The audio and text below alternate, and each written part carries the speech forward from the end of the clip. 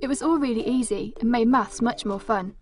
iTutor Maths taught me the same things I'm learning at school as they know which exam board we were on, so I'd be in a group that was right for me. All I needed was a computer with broadband, a headset, and a mic. So that was okay because we'd got all that already. My tutor was Julianne. There were seven other students in my class. I could talk to any of them and to Julianne whenever I wanted. Although I couldn't actually see them, I could just see Julianne. Julianne would talk us through the day's topic and explain it really clearly. If I was struggling a bit, I could always ask her to repeat something.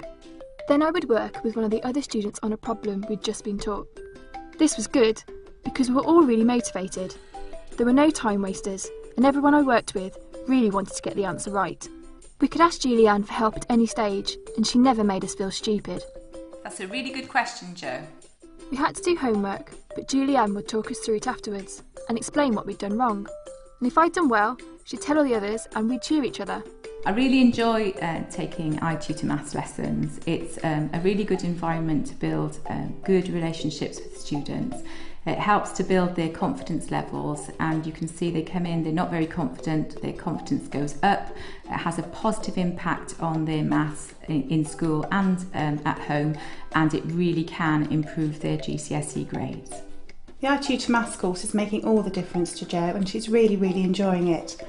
It was easy to set the computer up, and the lessons were at the same time every week, so it fitted in around school and all the other activities that she does.